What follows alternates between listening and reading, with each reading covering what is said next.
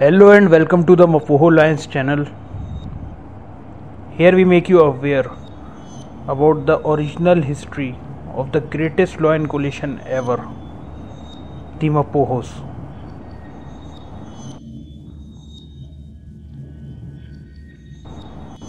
You are listening now a report about Mapogo Lions posted on June 10th 2010 by Willem Botha who was the assistant warden and head of anti-poaching in Sabi Sands.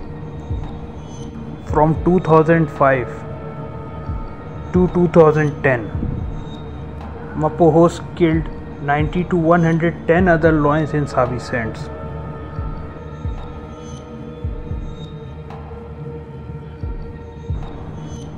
During the time that I was head of anti-poaching in the Sabi Sands, and did problem animal control in the entire reserve. I counted more than 100 other lions killed by Mapogos. I myself had to shoot 13 lions whose back were broken by the Mapogos and left to die a horrible death. One such lion had to be shot in Exeter River Lodge camp as he was lying on the footpath leading to a guest room. Myself and Dr. Jonathan Swarth was probably the first in the western sector to encounter the Mapogos. As we walked into them one evening when we were tracking pangolin armed with nothing but torches and telemetry. I witnessed the Mapogos killed a female on Singita near Exeter Portion 5 after she was taught not to be submissive enough to the Mapogos. Once she was killed, one of the Mapogos mated with her and then they started feeding on her. Note this Mapogo was Mr. T. This was also witnessed by this Jurgens T. Jagger from the NG Church I White River as him as his daughter accompanied me that evening. I also witnessed the Mapogos killed an entire pride of lions on Picanini, Utah.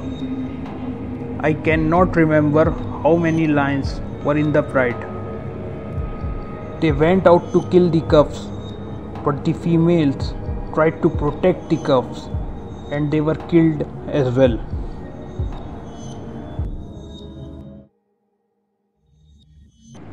On more than one occasion, the Sand River Pride were driven out of Sabi Sands by the Mapogos. Five were shot in April 2006, and the rest of the Sand River Pride were shot in January 2009 after they were driven out by the Mapogos and started feeding on cattle in Dumfries village. The Mapogos brought me many hours of joy as they were great meals. I was lucky to be able to dart all of them and to inoculate them against rabies. When there was an outbreak of the disease in and around the Sabi Sands from November 2007 to May 2009 so that's it for today. But more to come in future. If you like our mapogo lions stories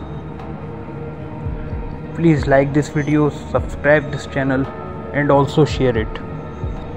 Thank you